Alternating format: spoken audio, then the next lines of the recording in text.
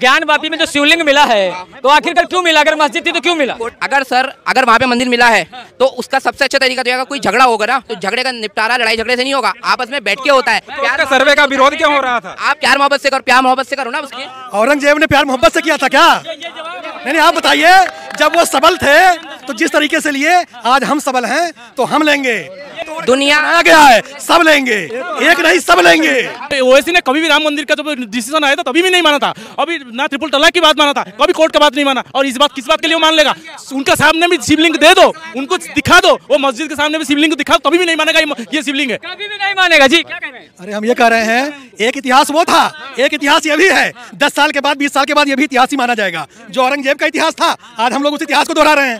हम लोग हम लोग अपनी पुरानी चीज़ों को वापस लेने का प्रयास कर रहे हैं। हम उनके किसी मस्जिद को नहीं छुएँगे, लेकिन जो हमारे मंदिर तोड़ करके मस्जिद बनाए गए हैं, अगर उसका साक्ष्य मिलता है, और माननीय न्यायालय यह सिद्ध करता है कि नहीं वहाँ पे मंदिर था उसको तोड़ करके मस्जिद बनाया गया है। तो माननीय न्यायालय के आदेश के जो है पालन में हम लोग दोबारा मंदिर लेने का प्रयास करेंगे। बताओ एज न्यूज़ न्यूज़ रिपोर्टर आप महँगाई पे कवर क्यों नहीं कर रहे हो? महँगाई पे तो चर्चा हो रही थी किससे हो रही? नहीं आप वही तो कह रहा हूँ धर्म पे नहीं होनी चाहिए। तो आपने बोला तो महँगाई पे ही बात कर। सीधा सीधा सवाल ये इनसे ये पूछो अगर वहाँ पे मस्जिद ही रहेगी तो क्या महँगाई कम हो जाएगी? उनका जवाब है अगर वहाँ मस्जिद अगर वहाँ मस्जिद ही रहेगी मंदिर ना बनाया जाए तो महँगाई कम हो जाए वही तो मैं कह रहा हूँ इस पे लड़ना क्यों? उस पे लड़ना क्यों? क्यों ना लें वापस? तो हम मंदिर अपना क्यों ना लें वापस? महँगाई हाँ बताओ ये क्या क्या महँगा अच्छा ये बताओ अच्छा मुझे ये बताओ। मैं दो सौ रुपए तेल है डेढ़ सौ रुपए लीटर पेट्रोल है ठीक है? ये कैसे आएगा? अब ये मेरा क्या करते हो? ऑटो चलाता हूँ। महँगाई है कहते हैं। अरे कुछ नहीं मांगा ये काम करेगा तो कुछ नहीं है। आ, काम नहीं करेगा तो सोने की जनीर भी पहने हो बेचारा नहीं फ्री में बैठ के खाइएगा ना। एक मिनट एक मिनट सुनिए ना। फ्री में बैठ के खाइएगा ना तो आपके लिए महँगाई है। आज जब मेहनत करके खाइएगा ना कुछ महँगाई नहीं है। महँगाई नहीं लग रही आपको आज के डेट में। महँगाई? महँगाई कहाँ है? कुछ भी नहीं है यार India is a rich country यार।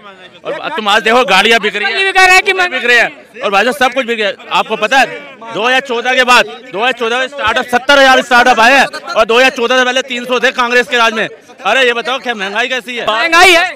भाई साहब महँगाई क्या उन लोगों के लिए जो आदमी हराम का खाना पसंद करते हैं। जिन्हें अपने बस की करना नहीं है तुष्टि जिन्होंने राशन फ्री का लेना है राशन फ्री का लेना है सब्सिडी सारी लेनी है हज यात्रा के लिए फ्री जाना है बच्चे परिवार पॉपुलेशन बढ़ानी है हम दो हमारे दस वो सब करने के लिए तो भाई महँगाई होगी होगी। वही कह रहा हूँ यहाँ पे इन जैसे लोग ओवैसी को ये भाई की बात को मानने वाले जो कहते थे, पंद्रह मिनट के लिए पुलिस हटा दो, देखो एक हिंदू का बच्चा नहीं बचेगा। आज औरंगज़ेब के मजार के ऊपर वो जाकर के वहाँ पे ओवैसी युद्धि का भाई चादर चढ़ाया है, उसके खिलाफ देशद्रोह का मुकदमा लगना चाहिए। मैं खड़े लोगों से पूछना चाहता हूँ लगना चाहिए कि नहीं चाहिए? लेकिन आज हनुमान चालीसा के ऊपर आप एक के ऊपर राजद्रोह का, देशद्रोह का मुकदमा लगाते हो।